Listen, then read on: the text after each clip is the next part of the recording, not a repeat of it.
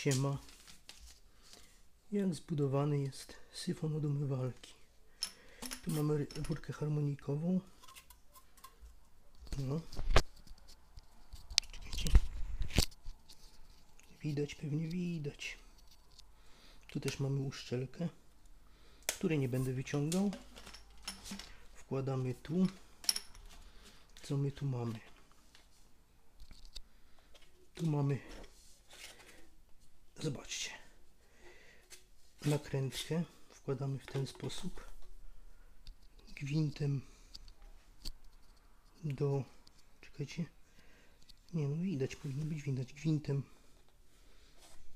na zewnątrz rurki i uszczelkę klinową w ten sposób. O. Można jak nie wchodzą, to posmarować płynem do naczyń i przykręcamy.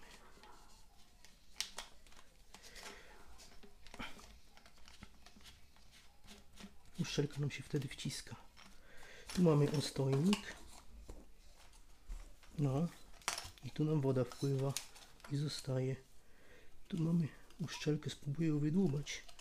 Zobaczcie, taka uszczelka yy, półkulista, półokrągła o-ring przeciął na pół. Ona tu musi wyjść na gwint. O, w ten sposób. I wkręcamy ostojnik. I tu mamy już w tym trójniku całym tu nie mamy uszczelki natomiast tu jest tak jak tam uszczelka klinowa i też tu tą nakrętkę zakładamy w ten sposób. O, a, to, to, to jest źle założone. Zaraz wam pokażę od czego to jest. Nakrętkę tu. No. Przykręcamy też w ten sposób. W ten o. Tu, a ta prosta rurka tu jeszcze się odkręca. O tu jest przykręcony taki nasz śrubokręt. Ja z tej strony to odkręcę. Tu mamy tu w tej chwili mamy tak e, sitko. Pod sitkiem mamy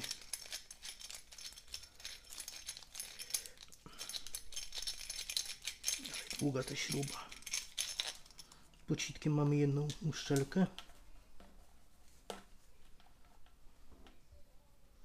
O. Tu mamy jedną uszczelkę, ta idzie pod sitko. Tu w tym miejscu. E. Tu przychodzi zlew w to miejsce. I od spodu zlewu druga uszczelka.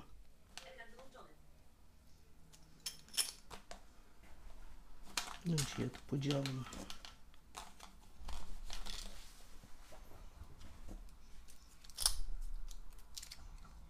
Aha. Nie, tu. Źle trzymałem po prostu. Tu i ta od spodu. Tu mamy pomiędzy tymi dwoma uszczelkami zlew. I to jest przykręcone pod spodem zlewu. Tylko tu oczywiście płaskim śrubokrętem teraz już na gwiazdkowe robię. No i tu jest też uszczelka okrągła przykręcone. To jest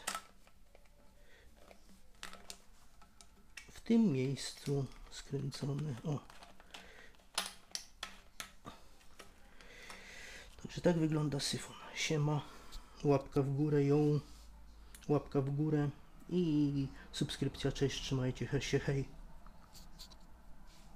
tu mamy jeszcze cały syfon. Wyjrzyjmy sobie. To jest do umywalki. No i tu przychodzi korek, nie? Cześć, łapka w górę, subskrypcja. Do następnego filmu.